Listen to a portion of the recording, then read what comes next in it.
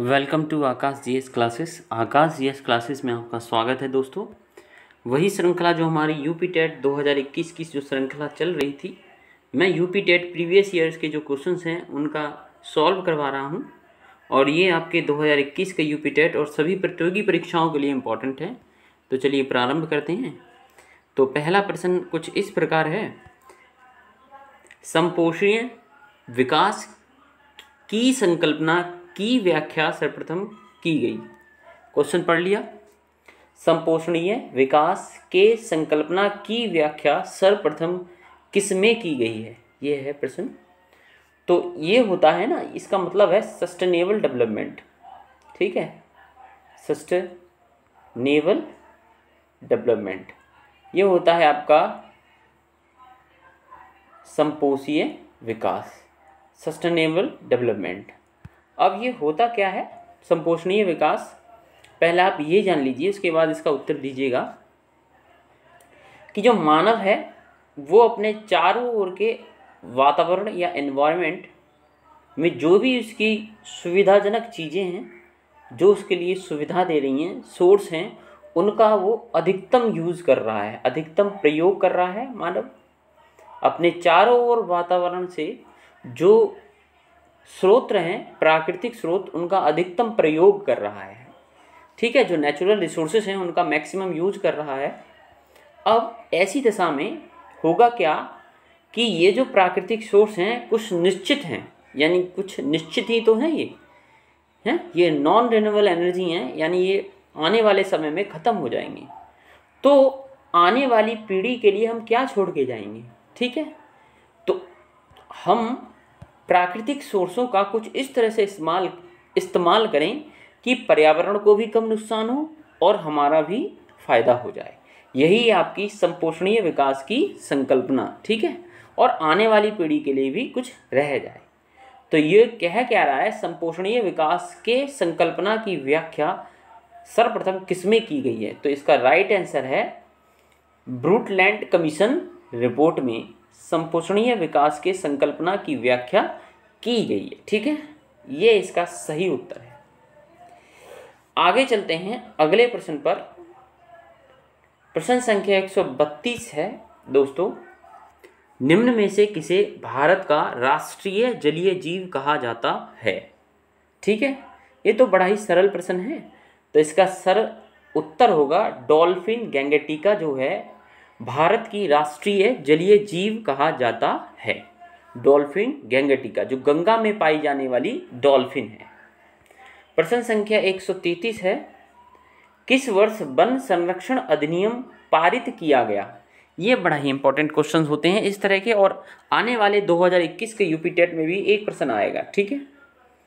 तो मैं आपको बता दूँ, वन संरक्षण अधिनियम जो पारित किया गया था वो पारित किया गया था 1980 में। कब पारित किया गया था? वन संरक्षण अधिनियम 1980 ये इसका सही उत्तर है 100 परसेंट करेक्ट उत्तर है।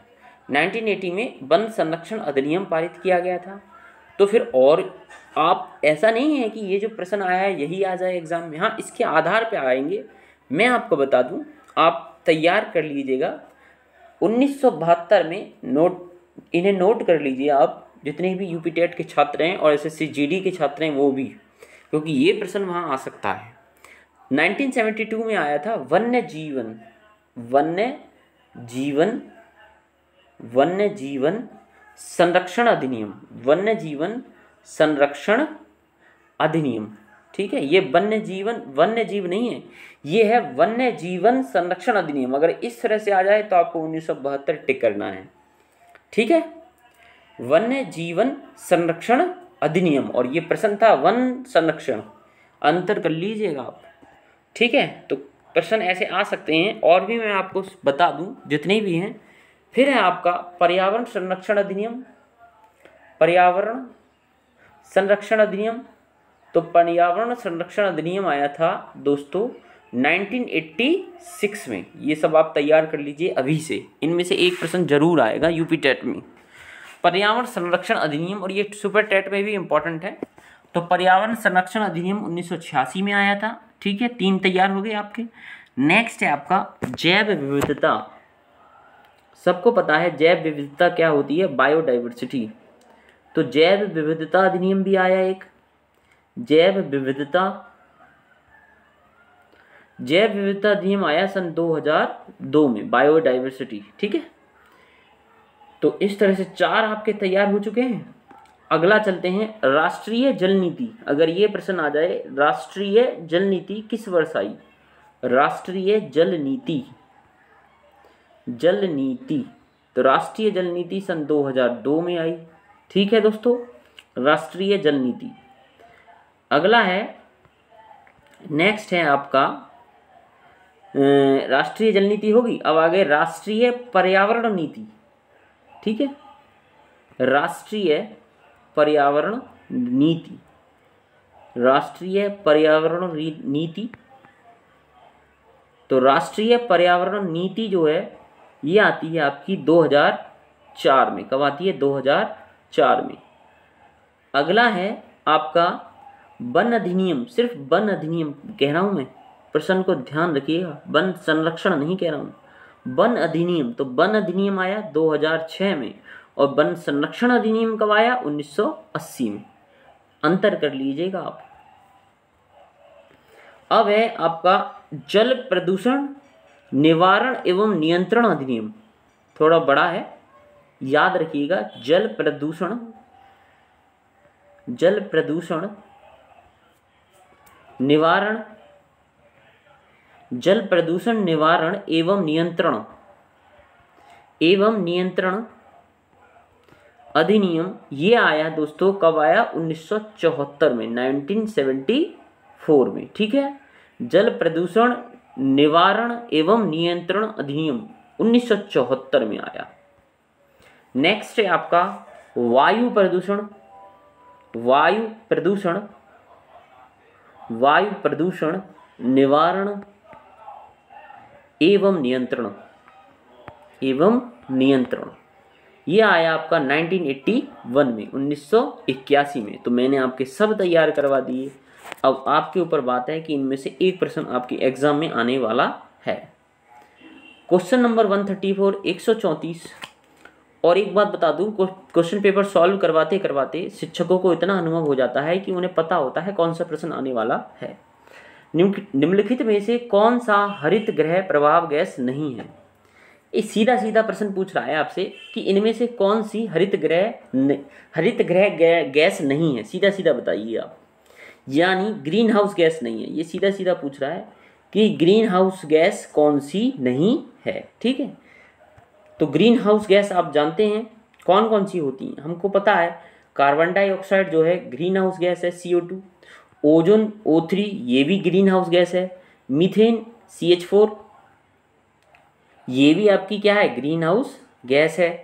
तो फिर ग्रीन तो कौन सी नहीं है? पूछ रहा है ना प्रश्न। तो नाइट्रोजन नहीं है आपकी ग्रीन हाउस गैस ठीक है? और नाइट्रोजन एटमोसफेयर में 78 परसेंट पाई जाती है, ठीक है? और एक बात बता दूँ, और ग्रीन हाउस एक्स गैस जो है नाइट्रस ऑक्साइड भी ग्रीन हाउस गैस है। और जो आपका जलवाष्प जो होता है, वो भी आपका ग्रीन हाउस गैस में आता है, यानी हरित ग्रह गैस में जल वाष्प तो आपके तैयार हो गए? कार्बन डाइऑक्साइड ओजोन मीथेन ठीक है? और आपका N two O nitrous oxide और जल वाष्प ये सभी की सभी हरित ग्रह गैस हैं, यानी ग्रीन हाउस गैसेस हैं, ठीक है? बाकी आप प्रश्न संख्या 135 पे चलते हैं। निम्नलिखित में से कौन सी मृदा संरक्षण की विधि नहीं है? यानी मृदा को आपको संरक्षण करना है, मिट्टी का आपको संरक्षण करना है। तो मिट्टी का संरक्षण कैसे करोगे? बताइए। हाँ फ़सल चक्र, यानी एक फ़सल के बाद दूसरी फ़सल, ठीक है? यानी जैसे मैंने गेहूँ की फ़सल की तो मैं उसके बाद फ़सल बदल दूँगा। हर साल आप फ़सल बदल दीजिए। अब एक व्यक्ति कहेगा, सर, गेहूँ के बाद गेहूँ कहाँ करते हैं? तो मेरा कहने का मतलब ये नहीं है। आप फ़सल चक्र को अपनाइए। जैसे आपने गेहूँ की फ़सल की तो नेक्स्ट ईयर आप गेहूँ की फ़सल मत करिए। किसी और चीज़ की फ़सल करिए, वो होता है फ़सल चक्र। इससे मिट्टी की उपजाऊ क्षमता बढ़ी रहेगी। तो यहाँ नहीं है पूछ रहा है तो है कौन से? फ़सल चक्र हैं। जैविक खाद अपनाइए आप, ठीक है? जैविक खाद तो आप जानते ही हो, ठीक है? तो जैविक खाद आप अपनाइए, जो हाथ, बना हुआ खाद होता है, जैसे गोबर है, ठीक है? कचरा है, उन्हें इकट्ठा करिए, वो जैविक खाद हो जाएगा। फिर कौन सा? मृदा अपरदन को रोकना। मृदा अपरदन को रोकना मतलब? यानी मिट्टी के कटाव को रोकना। हाँ जी, ये भी मृदा संरक्षण का उपाय है, ये तीनों ही हैं। तो पहला जो ऑप्शन दे रखा है दोस्तों, पहला दे रखा है कीटनाशक रसायन। तो कीटनाशक रसायन जो है, कभी भी मृदा संरक्षण की विधि नहीं हो सकती है। I hope you will understand that next question we will move on to one thirty six एक सौ छत्तीसवें प्रश्न पर हम चलते हैं दोस्तों। ओलंपिक खेलों का आदर्श वाक्य क्या है? आपके सामने बहुत ही बेहतरीन क्वेश्चन आया है, देख रहे हैं? क्वेश्चन कहाँ कहाँ से आ जाते हैं एग्ज़ाम में? तो ओलंपिक खेलों से क्वेश्चन यानी करंट का क्वेश्चन आया है। ये वैसे करंट का क्वेश्चन नहीं है। ओलंपिक खेल का एक ही आदर्श वाक्य है और वो कभी बदलता ही नहीं है। तो R T S C T S और फोर्टीएस ये आप याद रखिएगा, ये ओलंपिक खेलों का आदर्श वाक्य है। ऑल्टीएस सी टी एस और फोर्टीएस ठीक है? अब जब हम ओलंपिक खेलों की चर्चा कर ही रहे हैं तो मैं आपको बता दूँ ओलंपिक खेलों में पाँच वलय होती हैं। पाँच ऐसे त, इस तरह से गोला सर्कल टाइप में पाँच बॉल नहीं होती हैं आपने अगर ओलंपिक खेलों का शुभंकर देखा। एक दो तीन चार पाँच होगी ये जो पाँचवें बॉल हैं इनका कलर अलग अलग होता है। ये वाली लाल रंग की होती है। कोई भी लाल ले लो ऐसा कोई दिक्कत नहीं है। इसे नीला यानी इसे ब्लू दे दो। यानी रेड ब्लू, उसके बाद ग्रीन, फिर येल्लो और फिर ब्लैक। ठीक है? तो ये पाँच कलर हो गए आपके। ये यानी जो पाँच बॉलें होती हैं, उनका ये कलर होता है, रेड, ब्लू, ग्रीन, येल्लो और ब्लैक। ठीक है? लाल, नीला, हरा, पीला और काला। अब ये ऐसी होती क्यों है? ये जो पाँच बॉलें हैं ना ओलंपिक खेलों के लिए, में जो प्रतीक है, ये जो है ना ये पाँच महाद्वीपों को दिखाता है, बच्चों। पाँच महाद्वीपों को दिखाता है दोस्तों। पाँच महाद्वीप जो हैं, ठीक है, पाँच महाद्वीपों को फाइव कॉन्टिनेंटल हैं, उनको दिखाता है, ठीक है। पाँच महाद्वीप आपको आई होप इतना तो मैं उम्मीद करता हूँ, आपको पता होगा पाँच महाद्वीप कौन से हैं, ठीक है। कमेंट कर दीजिएगा। तो आगे आप समझ गए होगे, फ़िलहाल ओलंपिक जो हैं, अभी ख़त्म हुए हैं तेईस जुलाई से लेकर ये करंट का क्वेश्चन है। आप तैयार कर लीजिए करंट आठ अगस्त, तेईस जुलाई से आठ अगस्त। ये सुपर टेट एस एस जितने भी आने वाले एग्ज़ाम हैं उनके लिए इंपॉर्टेंट है। तेईस जुलाई से आठ अगस्त के बीच ख़त्म हुआ है, दो हज़ार इक्कीस। ये कहाँ पे हुए थे? टोक्यो। टोक्यो कहाँ पे है? जापान में, ठीक है? अब मैं आपको बता दूँ, प्रश्न यहाँ से आ सकता है कि टोक्यो ओलंपिक में भारत का स्थान कितना था तो भारत का स्थान अड़तालीसवें था। यानी जो इंडिया था हमारा 48 पोजीशन पे था, भारत अड़तालीसवें स्थान पे था, जिसमें से भारत ने एक गोल्ड मेडल जीता था, जो कि नीरज चोपड़ा के द्वारा भाला फेंक में जिताया गया था। ठीक है? बाकी दो सिल्वर मेडल थे हमारे पास, ठीक है? दो सिल्वर मेडल, एक लोवलिना बॉर्गिन, जो कि क्या हैं? बॉक्सर हैं। दूसरा आपका रवि कुमार दहिया, जिन्होंने सत्तावन किलो, किलोग्राम वर्ग में रेसलिंग में उन्होंने वो सिल्वर मेडल जीता था। तो एक गोल्ड मेडल दो सिल्वर मेडल और आपके आए थे चार ब्रॉन्ज मेडल चार ब्रॉन्ज मेडल आए थे हमारे पास, ठीक है? तो ब्रॉन्ज मेडल में आपको पता है, जो हमारे रेसलर थे,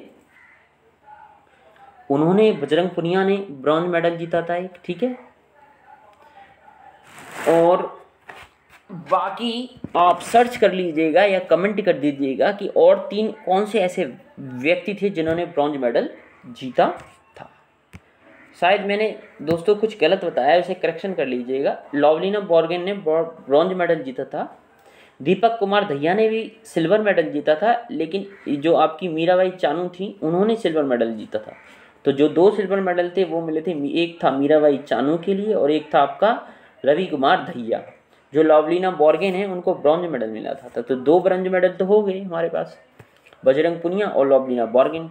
दो आप कमेंट करके बता दीजिए कि दो ऐसे कौन से खिलाड़ी थे तो जो ब्रॉन्ज मेडल लाए थे ओलंपिक खेलों में, ठीक है? अब आप, आपके लिए बता दूँ, दोस्तों, प्रॉब्लम ये है कि ओलंपिक में क्वेश्चन यहाँ से भी आ सकता है कि आने वाले ओलंपिक अब नेक्स्ट कहाँ पे होंगे। तो नेक्स्ट जो ओलंपिक होगा, वो होगा आपका फ्रांस में। ये करंट का क्वेश्चन है। फ्रांस में होगा, फ्रांस के पेरिस में। पेरिस कैपिटल है, राजधानी है फ्रांस की। और वो होगा सन 2024 में। कब होगा? सन 2024 में होगा आने वाला अगला ओलंपिक ठीक है? फिर 2024 के बाद 2028 में ओलंपिक होंगे। ये होंगे Los Angeles USA Los Angeles कहाँ पे? यूएसए यानी अमेरिका 2028 में ये होंगे। फिर अगले, उसके नेक्स्ट बाद होंगे आपके बाद दो हज़ार अट्ठाईस के बाद चार साल ऐड कर दो दो हज़ार बत्तीस में। तो ये होंगे आपके ब्रिस्बेन में। कहाँ पे होंगे? ब्रिस ये शेड्यूल आ चुका है, आप इन्हें तैयार कर लीजिएगा। अब एक बच्चा कह रहा है, सर 2021 के बाद चार साल ऐड करेंगे तो इसमें 2025 में होने चाहिए ना ओलंपिक 2024 में क्यों हो रहे हैं? क्योंकि ये जो हमारे 2021 के ओलंपिक थे, ये 2020 में होने थे। कोविड नाइन्टीन के कारण एक साल डले हो गई, इसलिए ऐसा हुआ है। ठीक है? बाकी आने वाला जो शेड्यूल है वो सेम ही सेम है। Thank you very much